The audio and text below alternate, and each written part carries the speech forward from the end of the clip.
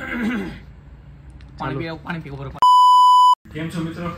स्वागत है हमारे YouTube चैनल में।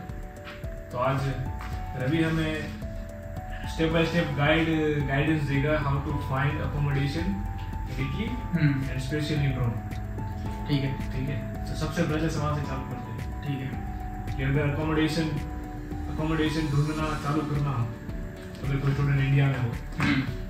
तो किस स्टेप से चालू? करते पहला स्टेप क्या हाँ जैसे कि अगर कोई स्टूडेंट यहाँ पे आ रहा है वीज़ा लगने के बाद तो उसके पास मेरे ख्याल से दो ऑप्शन है। कि यहाँ पे हॉस्टल भी है अगर वो हॉस्टल में अप्लाई करता है तो उसको कहीं जाने की मतलब रिक्वायरमेंट नहीं होगी एकोमोडेशन फाइंड करने की। किसी के पास जाए ऑनलाइन ढूंढे ऐसा कुछ उसको प्रॉब्लम नहीं होगा। तो उसको हॉस्टल इजीली मिल जाएगा एक तो और मुझे लगता है कि अगर हॉस्टल मिल गया तो उसमें यहाँ पे जैसा सीन है रोम में हमारे यहाँ पे तो मेरा दोस्त है काफ़ी वो हॉस्टल में है। तो मैं भी उस उसके हॉस्टल में गया हूँ एक दो बार। तो मैंने देखा है कि उन लोगों को प्राइवेट रूम मिलता है। हाँ हाँ। उसमें study table cupboard bed lamp ये सब मिलता है। मतलब बेसिक बेसिक हाँ। हाँ वो होती है। और अलग से किचन या तो प्राइवेट होता है कहीं कहीं हॉस्टल में या तो कॉमन में होता है। वो डिपेंड करता है। हाँ और और रेंट भी अगर उसको स्कॉलरशिप है तो उसको वो टेंशन नहीं है कि रेंट अलग से पे करना पड़ेगा कट के आता है पहले से मतलब वो आपके स्कॉलरशिप में से काट लेंगे पहले एक चीज़ है कि स्कॉलरशिप होगा तभी अकोमोडेशन मिलेगा। हाँ। ये ये ये बात नोटिस करने की अगर आपके पास स्कॉलरशिप होगा तो आप आ, आपका चांसेस है कि आप हॉस्टल में अप्लाई कर सको। और एटलीस्ट आपको- लाजियो में ऐसा हाँ लाजियो में ऐसा। और लाजियो रीजन रीजन है रोम में। सॉरी रोम है वो लाजियो रीजन है। हाँ तो सेपियन जहाँ मेन तो पता कसिनो ये सब लाजियो रीजन में आती है। और दूसरी भी होगी। बट बट ये एक एक सवाल है कि जो लाजियो का अकोमोडेशन होगा हाँ। वो पहले से तो मिलेगा? नहीं पहले तो नहीं मिलेगा ये बात मेरा वीज़ा आ गया इंडिया हम्म, अभी मेरे को रहना सबसे पहले ढूंढना हाँ। तो तब तब से तो मेरे को मिलेगा नहीं अकोमोडेशन नहीं तब तो से एटलीस्ट टेम्पररी कुछ करना है। हाँ। तक मेरे को अकोमोडेशन ना मिले तब तक। उसके लिए कौन सा स्टेप है? उसके लिए जैसे कि अगर आपका या तो कोई पहले से यहाँ फ्रेंड है उससे कांटेक्ट करो आप। हम्म, ठीक है? उसको बोलो कि टेम्पररी मुझे एक महीने दो महीने के लिए स्पेस चाहिए। अगर उसके मतलब उसके रूम में या उसके अपार्टमेंट में जहाँ भी रहता है वहाँ एक बेड स्पेस अवेलेबल हो तो आप वो रह सकते हो। वो सर्च कर सकते हाँ, क्योंकि- मालूम मालूम ज़्यादा होगा। मालूम ज़्यादा हो। और मेजोरिटी जो सेमेस्टर चालू होता है सितंबर में होता है। हम्म, आप सितंबर में आ गए तो दो मंथ गिन लो नवंबर दिसंबर जनवरी में रिज़ल्ट आ जाएगा स्कॉलरशिप का। हाँ। स्कॉलरशिप भी मिल जाएगी और आपको हॉस्टल भी मिल जाएगी अगर आपका रैंकिंग में उसमें नाम आ गया। तो तब तक तब तक के लिए हाँ तब तक के लिए ये ये एक ऑप्शन है कि आप अगर आप फ्रेंड से पूछो वो बेड स्पेस उसके पास है अवेलेबल या तो फिर उससे कॉन्टेक्ट थ्रू कोई आपको बेड स्पेस वो अवेलेबल कर, करवा सकता है या दे सकता है। तो ये ऑप्शन है। और दूसरा अगर ये नहीं है हम्म, तो आप ऑनलाइन भी ढूंढ सकते हो। यहाँ पे मेजोरिटी जो एकोमोडेशन है वो लोग ऑनलाइन ही होते हैं। मतलब आप वेबसाइट है दो तीन तो मैं डिस्क्रिप्शन में अभी उसका लिंक या फिर उसका नाम शेयर कर दूँगा आपके साथ। जैसे कि मोस्टली यूज़ करते हैं इमोबिलियारे है हम्म, आइडियालिस्टा है है। और और एक भी है सुबी तो है। तो ये सारी फेसबुक मार्केट प्लेस भी है, तो ये सारी जगह पे आप जाके अपनी रिक्वायरमेंट डालो अपनी रिक्वायरमेंट के हिसाब से फ़िल्टर लगाओ के आप सर्च कर सकते हो। ऑनलाइन हम अकोमोडेशन ढूंढ सकते हैं। हाँ ये भी है। बट ये इन केस की जब कोई फ्रेंड ना मिले या फिर फ्रेंड फ्रेंड कोई जगह ढूंढ नहीं पा हम्म। Otherwise I think I suggest कि कोई कोई बंदा मिल जाए जो ऑलरेडी यहाँ पे है हम्म, हम्म। तो वो वो बेटर वे कर सकता है हमारे लिए अकोमोडेशन का हाँ क्योंकि उसको सब पता होगा। वो एक साल या साल एक साल से ज़्यादा यहाँ पे रह चुका है तो उसको आइडिया होगा कैसे ढूंढना है। वो आपकी हेल्प करेगा। हम्म, तो उसको सब पता भी होगा कैसे ढूंढना है। ठीक है ठीक है। तो फिर नेक्स्ट है कि चलो ऑनलाइन मेरे को अपार्टमेंट मिल गया। हम्म। मैंने वेबसाइट पे देखा और कोई अच्छा अपार्टमेंट मिल गया जिसमें जो मेरे रेंज में है। हम्म। और जितने टाइम के लिए चाहिए उतने टाइम के लिए हम्म। परफेक्ट तो इसमें और चीज़ क्या ध्यान रखनी चाहिए? जैसे कि मेरे को मालूम नहीं है अगर इंडिया में हूँ तो कौन सा रेंज एक्चुअल वो कॉस्टली है कि नहीं? ये देखो अभी आप अपार्टमेंट ढूँढने जाओगे ना तो मतलब मुझे ऐसा लगता है कि एक बंदा अफोर्ड नहीं कर सकता है पहली बात। तो अपार्टमेंट पूरा। हाँ पूरा अपार्टमेंट कोई एक बंदा अगर बोलेगा कि मुझे लेना है तो वो रेंट उसको अफोर्ड नहीं कर पाएगा। क्योंकि ये लोग जहाँ पे इंडिया में भी होता है जैसे कि डिपॉजिट होता है वैसे यहाँ पे भी होता है ये लोग भी डिपॉजिट लेते हैं। हाँ। और अगर आप एजेंसी थ्रू जाओगे तो वो लोग एक वन मंथ की डिपॉजिट अलग से लेंगे आपको चार्ज एज ए चार्ज होगा। हाँ। हाँ उसकी फ़ीस होगी।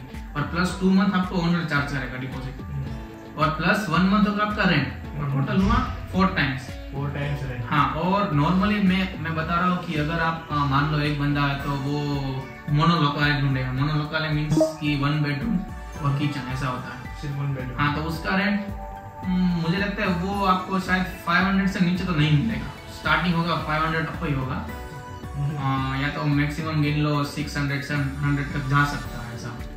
तो उसको फोर टाइम करोगे तो बहुत बढ़ जाएगा। मतलब दो दो हज़ार आराम से हाँ उतना हो। बंदे को दो हज़ार है। एक ही टाइम पे। एक ही टाइम हाँ वो इन्वेस्टमेंट करना पड़ेगा आपको स्टार्टिंग में इतना। तो ये नहीं कर सकता उसके लिए आप आ, किसी और को ढूंढो मतलब आप कंपनी को ले लो दो या तीन बंदे। हाँ हाँ हाँ। और ऐसे मिल के फिर ढूंढो वेबसाइट में सर्च करो आपकी रिक्वायरमेंट के हिसाब से अगर आपको मिल गया तो फिर सबसे पहले आके ओनर से बात करो उससे अपॉइंटमेंट लो कि हमें मिलना है और घर देखना है।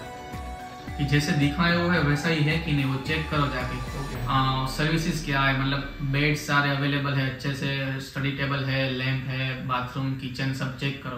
कि वर्किंग वर्किंग कर रहा है नहीं कर रहा वॉशिंग मशीन है। हाँ, ये चीज़ें हमको चेक करनी चाहिए कोई घर देखने जाए हाँ तो ये सब आपको चेक करना मैंने फेस की थी जब मेरे को घर देखना जाना हाँ, हाँ। मुझे नहीं मालूम क्या क्या क्या देखना भाई इम्पोर्टेंट मेन यही है कि आप जाओ देखो सारी चीज़ें अच्छे से वर्किंग कर रही है कि नहीं कर रही है। हम्म। और वो आपको प्लस यहाँ पे ऐसा है कि ओनर अगर आ, आप आपने कहीं अपार्टमेंट रख लिया तो ओनर आपको इंटरनेट भी इंक्लूड कर इसमें। है और आपको ये भी बात करनी है कि बिल्स कौन कौन से इंक्लूडेड है रेंट। में? कभी कभी इंक्लूड होते हैं। हाँ यहाँ पे बिल्स होते हैं गैस बिल अलग से होता है लाइट बिल अलग से होता है और वाटर बिल ये तीन बिल्स है यहाँ पे। तो उससे पूछो चेक करो कि रेंट में इंक्लूड है कि नहीं है। मतलब कंफर्म कर लो क्या चीज़ है। हाँ।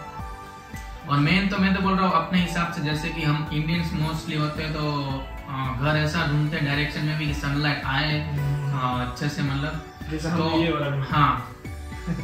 कि मोस्टली पूरे दिन सनलाइट रहेगा और इसका एक रीजन भी क्योंकि अगर सनलाइट घर में आएगा तो थोड़ा पॉजिटिव एनर्जी रहेगा। हाँ ये भी है। ऊपर से कपड़े भी सूखेंगे हाँ। वो उसमें ज़्यादा हेल्प होगी आपको। ठीक है चलो तो तो अब ओनर से अपॉइंटमेंट फिक्स किया। हाँ। हमको मालूम है क्या क्या देखना है घर में। वो आप चेक वो सब वो सब चीज़ें चेक हम्म, कि चलो भाई सब कुछ चीज़ें हैं। सही है और वर्किंग पोजीशन में. वॉशिंग मशीन है सब कुछ है और नेक्स्ट स्टेप क्या है? तो अभी आप नेक्स्ट स्टेप उससे बात करो कि हम कब से आ सकते हैं। हाँ, हाँ मतलब हम अभी हाँ, ऐसे कंडीशन में यहाँ पे रहते हैं तो आप बोलो तो हम नेक्स्ट मंथ से शिफ्ट हो जाए। और मेनली उससे बात करो पैसे की कि पेमेंट कैसे करना है। कितने महीने की डिपॉजिट लेगा वो सब बात करो। मतलब ओनर की भी कुछ रिक्वायरमेंट होती है। हाँ उसके भी। और और मुझे लगता है कि ओनर आपको शायद फिक्स इनकम भी मांगे। हम्म, जो चीज़ डेमोन्स्ट्रेबल इनकम भी हाँ, हाँ मतलब मोस्टली यहाँ के ओनर है वो आपके पास से इनकम वो इनकम डेमोन्स्ट्रेबल इनकम आपके पास से मांगेंगे कि अगर स्टेबल इनकम है तो वो रेंट रेंट पे देंगे वरना नहीं देंगे। दो चीज़ें होती है कि या तो आपके बैंक अकाउंट में इतना अमाउंट होना चाहिए हम्म हाँ। या फिर आपके पास कोई जॉब कॉन्ट्रैक्ट हो। हाँ, जिसमें job दिखा रहे हो contract- कि इसको मंथली इतना पेमेंट मिलता है। सही है। ये दिखा सकते हो अगर आप यहाँ पे part time full time job करते हो आप उसको इनकम दिखा सकते हो तो कॉन्ट्रैक्ट दिखाओ हाँ अगर हो तो हाँ तो वो मुझे लगता है जहाँ तक कि मान जाए कि हम्म। इसके पास इनकम है तो टेंशन नहीं है। ऐसा रेंट उसका आता रहेगा। ये चीज़ आई थिंक शायद पहले ऑलरेडी जब हम ऑनलाइन अपार्टमेंट ढूंढते होंगे तो लिखा होगा। तो बस केयरफुली देखना आप डिस्क्रिप्शन अच्छे से पढ़ो। कि क्या क्या लिखा है क्या अवेलेबल है क्या नहीं। अच्छा। क्योंकि सारा चीज़ डिस्क्रिप्शन में दिया ही होगा मुझे लगता है ऐसा। तक एक और चीज़ पूछी हम्म, जो आई थिंक कई लोगों को उसके बारे में सवाल होगा या फिर होगा। हम्म, हम्म। कि यहाँ पे फ्रॉड भी होता है। फ्रॉड में तो मुझे लगता है कि ऑनलाइन आप देखते हो तो कहीं कहीं अपार्टमेंट्स ऐसा आ जाता है जैसे कि आपको फ़ोटोज़ उसमें दिख रहे होंगे। लेकिन एक्चुअली में वो एग्जिस्ट नहीं करता होगा। हाँ। जैसे कि मान लो आप सर्च कर रहे हो तो आपको पाँच छह फ़ोटोज़ दिखेंगे। हम्म। और फ़ोटोज़ भी ऐसे होंगे कि एक ही एंगल अलग अलग एंगल से एक रूम के या दो रूम के बस ऐसे फ़ोटोज़ होंगे। आठ से बारह फ़ोटोज़ शायद होंगे तो। तो मतलब समझ जाओगे आप वो डिस्क्रिप्शन में भी लिखा होगा ऐसी तरीके से कि कांटेक्ट करो या डायरेक्ट नंबर दे दिया होगा। बाकी कुछ डिटेल नहीं दिया होगा। हाँ कुछ भी डिटेल भी नहीं दिया होगा ऐसा भी हो सकता है। लेकिन मोस्टली ये लोग यहाँ पे आप घर ढूंढोगे तो एजेंसी थ्रू ज़्यादा सेफ़ है मैं तो बोल रहा हूँ। एजेंसी थ्रू ऑब्वियसली सेफ़ हाँ। बट वो उसके चार्ज भी लेते हैं। चार्ज भी लेते हैं। और प्राइवेट अगर मिल भी गया तो आप उससे पहले बात करो जाके मिलो मैं तो बोलता हूँ। एक बार देखो बात करो अपॉइंटमेंट लो और मिलो। घर देखो सब सही लगे फिर आगे बढ़ो। बट एक और चीज़ है सबसे बड़ी गलती नहीं करनी आने से पहले पैसा देना। हाँ हाँ ये अगर वो आपको ऐसे बोल रहा है कि चार्ज मैं करूँगा इतना हाँ। सौ यूरो पहले, शायद हाँ। बोल भी सकता है ऐसे कि मैं इतना चार्ज करता हूँ मिलने के लिए या फिर अपॉइंटमेंट देने के लिए या फिर घर देखने के लिए।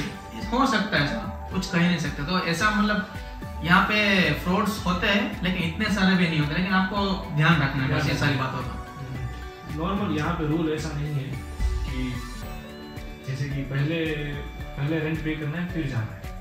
हाँ ऐसा नहीं है ऐसा नहीं जबकि ऐसा रूल इंग्लैंड में है सर। इंग्लैंड में ऐसा। क्योंकि रोमेश भाई जो स्टेफिल में गए थे। हाँ उसको वहाँ हाँ वहाँ ऐसा कि पूरे साल रेंट पे करना है पूरे साल। का फिर जाना है? यहाँ पे ऐसा नहीं आप पर मंथ आपको रेंट पे करना है ऐसा पर मंथली मंथली बट एटलीस्ट आप जब शिफ्ट हो बाद में पे करना बाद में। बाकी पैसे। सब कॉन्ट्रैक्ट बन जाए सब आपके पास आ जाए डॉक्यूमेंट सारे फिर आपको ट्रांसफ़र करने हैं पैसे या फिर जो भी आपसे बात बात हुई ओनर से वो करना है। ठीक है ठीक है। और मेन चीज़ मैं तो बोलता हूँ अगर आपको प्राइस का टेंशन है हम्म, तो यहाँ पे प्राइस वेरी करते हैं कि आप सेंटर से कितने दूर हो। हम्म, मोस्टली जब आप सेंटर में सेंटर एरिया में होंगे तो प्राइस मुझे लगता है कि काफ़ी ज़्यादा होंगे। हम्म, और अपार्टमेंट तो काफ़ी ज़्यादा होंगे। अगर आप यहाँ पे मोस्ट कॉमनली देखो कि सिंगल रूम भी आप अगर अफोर्ड कर सकते हो तो वो शायद हो सकता है नन लेस देन 350 350 से तो स्टार्टिंग आपको करने होगा सिंगल रूम सेंटर में सही है तो सेंटर से आप जितने दूर होंगे उतना शायद मुझे लगता है आपको कम प्राइस में मिलेगा मतलब ये अगर अगर अपार्टमेंट मिल गया हाँ। तो उसके बाद है कि कुछ चेकलिस्ट बनाना है क्या क्या हमको मैंडेटरी। चाहिए वॉशिंग मशीन टेबल्स हाँ ये सब ये सब और आप उससे मांग भी सकते हो मैं तो बोलता हूँ कि अगर कुछ कम है तो आप उसको बोलोगे कि वॉशिंग मशीन नहीं है सपोज़ और टीवी नहीं है सपोज़ हाँ। इंटरनेट नहीं है तो उसको बोलोगे तो मतलब ये वो सब क्लेरिफाई करना। हाँ है। करना है और वो आपको प्रोवाइड भी करेगा मुझे। बाद में नहीं सब कुछ पहले पहले करना है। फिर आपको फिर कॉन्ट्रैक्ट बनेगा फिर पेमेंट करना है। ओके सब पहले क्लियरिफाई करना है। आई होप सबको घर मिल जाए क्योंकि रोम में घर ढूंढना मुश्किल है। मुश्किल है थोड़ा मुश्किल है। और मेहनत करना पड़ता है आपको। ये डिपेंड करता है कौन से समय पे हम आते हैं। हम्म ये तो डिपेंड करता है। अगर सितंबर में आते हैं और सितंबर के बाद दिसंबर तक घर ढूंढना घर नहीं मैं तो बोलता हूँ छोटा सा। सोने का जगह ढूंढना भी बहुत मुश्किल बहुत मुश्किल क्योंकि ये सारे स्टूडेंट जो होते हैं वो सितंबर से आना शुरू होता है और दिसंबर तक फुल हो जाता है मुझे लगता है। सारा रूम सारा अकोमोडेशन सब। ये जिस तो मैंने भी फील की है। पर पर तो भी लोग आए आए समहाउ मैनेज कर लेते हैं। बट इस मैनेजिंग करने में कई कई बार काफ़ी ज़्यादा पैसा पे करना हम्म। क्योंकि कई सारे बच्चे होटल में रुकते हैं। हाँ होटल का चार्ज यहाँ पे ज़्यादा है काफ़ी ज़्यादा है। और रूम तो बड़ा वो लोग पर डे के हिसाब से आपको चार्ज करेंगे। होटल का जहाँ तक मेरे को मालूम है फिफ्टी यूरो तो होगा ही होगा। हम्म। अगर आप बीएनबी में जा रहे हो तो ट्वेंटी फाइव यूरो या फिर twenty euro per day per day और वो भी लोकेशन पे मैटर करता है। हाँ वो भी लोकेशन हाँ।